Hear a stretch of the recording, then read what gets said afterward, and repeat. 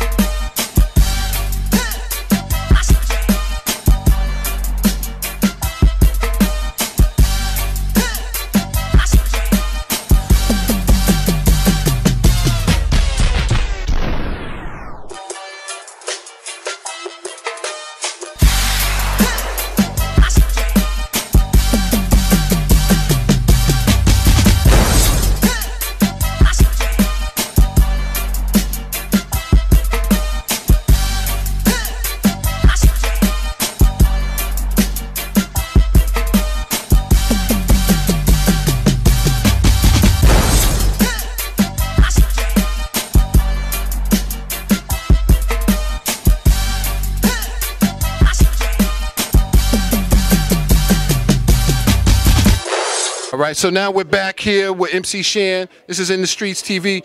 What's going on with that hip hop hero, man? What's up with that? That cartoon? Yeah. Look, that cartoon is basically telling the story of me getting jerked by Cold Chillin' and all that, but I didn't want to do it in documentary form like we're here talking now live and tell a story. I wanted to do it a little different to make it educational along with being something for the kids to watch. They're going to get a message out of it. They might not know what it's about, but the message is going to come through. Learn your business. Whatever your craft is, learn your business. Don't let a manager tell you what it is. Learn it for yourself. Go get your own lawyer. Fuck who giving you the lawyer. Do your own thing. You know what I'm saying? Because you'll wind up, your story will be my story 20 years later, and you'll be making a cartoon. Duh. So let me ask you a question, man. Fly Ty gets the gas face? I don't even give him nothing. I wouldn't give that nigga shit. I wouldn't piss on him if he was on fire. I swear to my mama. Mm. Mm. I mean, motherfuckers lie and they do shit. See, niggas want shit to be under the rug and they want you to keep the secrets. I ain't keeping no secrets. Fuck that shit. I don't give a fuck. Nigga, Well, you want to know something? you. You, want to know something? I know there's a lot of legends out there right now, all right, that can still put it down. Because I'm gonna keep it real with you. A lot of this new bullshit that's Hold out on, on wait, the radio. wait. Well, I know what he pointing at. Mm-hmm. But in the beginning, when you looked at hardcore, you saw my face, and forever in history, will that book bear my place? You can fall prey, but the trick is see how I got quiet. You can fall with play, but the trick is not to panic and sink. I spit rhymes, you thought it took more than one man to think. The glittering gloss is about the glory and fame. Wear your vest, but it won't protect your chest if you don't know the game.